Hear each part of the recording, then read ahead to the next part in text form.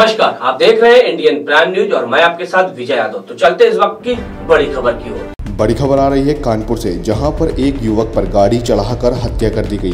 जी हाँ, पूरा मामला नवस्था थाना क्षेत्र का है, जहाँ से मिली जानकारी के अनुसार अशरफ नाम की युवक की दुकान के सामने कुछ युवक बाथरूम कर रहे थे, कि जिसको लेकर अशरफ ने उन्हें मना किया। लेकिन नशेबाजी की हालत में युवक द्वारा अशरफ को मारा गया। जब अशरफ जान बचाकर भागा तब उस पर युवक ने गाड़ी चढ़ा दी। अशरफ ने इसकी सूचना अनुराग कपूर को दी कि उसे मारा जा रहा है पंकी में होने के कारणवश। देरी से पहुँचने को लेकर अशरफ के ऊपर गाड़ी चढ़ा दी गई। जब अशरफ ने इसकी सूचना फिर से अनुराग को दी कि उसके ऊपर गाड़ी चढ़ा दी गई है लेकिन जब तक अनुराग पहुँचते तब तक अशरफ की हत्या कर दी गई। आइए आपको सुनाते हैं अनुराग ने क्या कहा। सर क्या नाम है आपका? अनुराग कपूर नाम है हमारा? क्या मामला है? मामला ये है कि ये बंदा इसके सामने दुकान के सामने कुछ लोग बाथरूम कर रहे थे और इसने मना किया, बगल में दो बियर शॉप है, जहाँ पे रोज केजीए मार्केट नवस्था में नशेबाजी होती है सिर्फ़। इसने बना किया, बंदे ने मना करने के बाद इसको वहाँ पे मारा गया।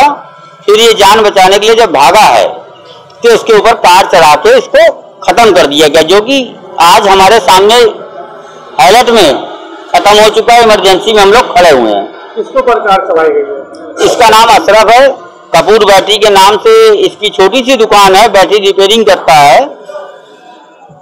अशरफ है? आपको कैसे सूचना मिली? हमें अशरफ ने फ़ोन किया। कपूर भैया ये लोग हमें मार रहा है हमें कोई बचा नहीं रहा। आप कितनी देर में आ सकते हो? मैंने कहा मैं पनकी से आने में पंद्रह से बीस मिनट लगेगा। मैं वहाँ से बस चला हूँ पंद्रह से बीस मिनट टाइम मुझे लगा है। उतनी देर में दोबारा कॉल आई। कि कपूर भाई इन लोगों ने मेरे ऊपर गाड़ी चला दी है। उसकी मेरे पास रिकॉर्डिंग है।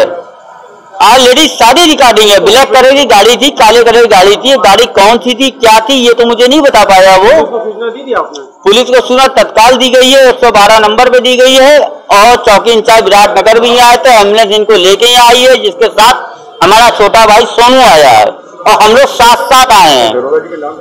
दरोजे का नाम है अमर सिंह, जो चौकी विराटनगर में है, जो आके यहाँ स्टेटमेंट दे रहा है कि मैं चौकी संभाल रहा हूँ। मैं यहाँ चौकी इंचार्ज नहीं हूँ, उनकी तबीयत खराब है। हम लोग ने अभी चौकी इंचार्ज को भी मिलाया एसएसपी को भी मिलाने की कोशिश की, कमिश्नर साहब को मिलाने की कोशिश की, अभी तो यहाँ कोई इस टाइप की कार्रवाई नहीं हुई है। वो कहते हैं, आप सीसीटीवी फुटेज अपना निकाल लाओ।